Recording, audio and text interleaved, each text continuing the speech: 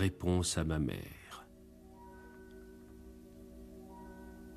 Est-ce ton jour faste qui sonnera le premier le grelot de la mort qui nous écarte du soleil?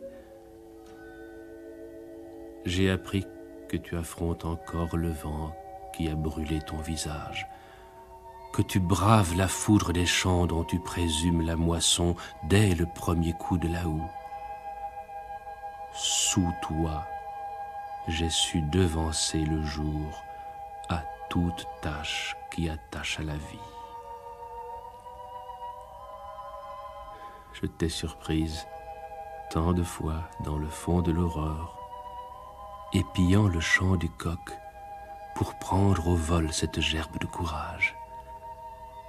Ô ma guide, je te rends grâce après une nuit de travail, et j'élève vers la Vierge, du sein de cette aube qui craquait l'horizon, un chant de gloire pour ton lourd diadème de sueur que tu n'as cessé de ceindre pour moi et sous lequel encore tu ploies.